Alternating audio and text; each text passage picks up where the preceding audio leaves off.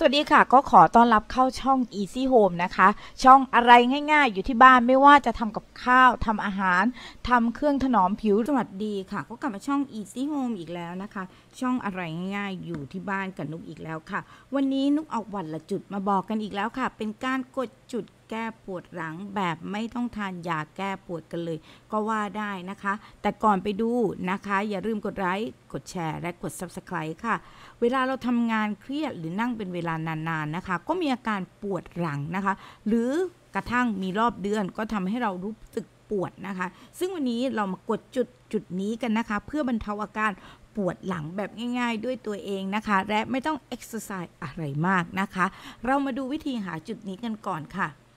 จุดนี้นะคะจะอยู่ตรงจุดชีพจรนะคะ ซึ่งบริเวณนี้จะใช้วัดชีพจรอยู่แล้วนะคะเราจะใช้นิ้วโป้งนะคะ กดบริเวณนี้เบาๆ ครึ่งเบาๆ เท่านั้นนะคะ ใช้แรงกดนวดเบาๆ ถึงปานกลางนะคะ เรามาเริ่มกันเลยค่ะนี้นะคะจะอยู่ตรงประมาณนะคะ ตรงหัวแม่มือนะ แล้วก็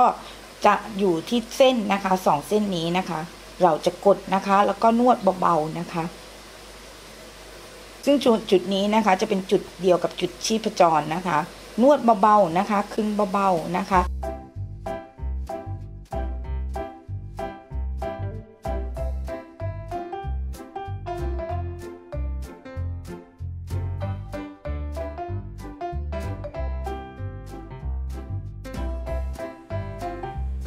เราจะใช้นะคะกดจุดนี้นะคะประมาณ 10 วินาทีต่อ 1 ครั้งค่ะ เราจะกดจุดนี้นะคะประมาณข้างละ 5 ครั้งค่ะ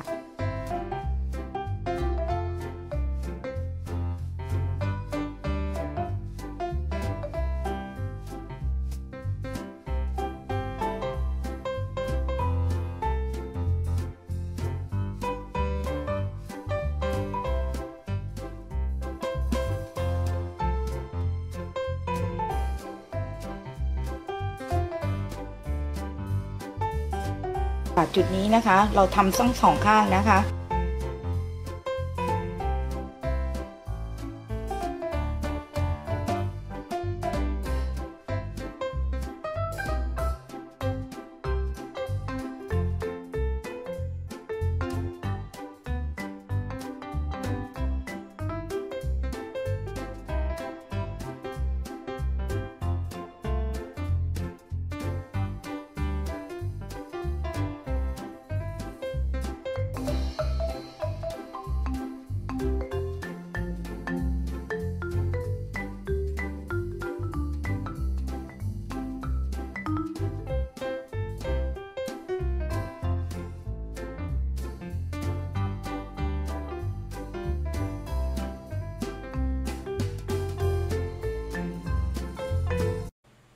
ค่ะ เป็นไงมั่งคะสำหรับวันละจุดวันนี้นะคะ เป็นการบรรเทาอาการปวดหลังแบบง่าย ๆนะคะ เพื่อนๆปวดอยู่ลองใช้ดูนะคะ เพราะเป็นการสะท้อนจากฝ่ามือนั่นเองค่ะสำหรับคลิปนี้นะคะ นุกและทีมงาน Easy Home ทุกคนหวังว่าคลิปนี้ของนุกนะคะ จะมีประโยชน์กับเพื่อนๆ ไม่มากก็น้อยนะคะ ถ้าชอบคลิปนี้ก็อย่าลืมกดไลค์กันด้วยค่ะ และที่สำคัญอย่าลืมกดแชร์ค่ะ เพื่อบอกต่อคลิปดีๆ เจอกันใหม่คลิปหน้าสวัสดีค่ะ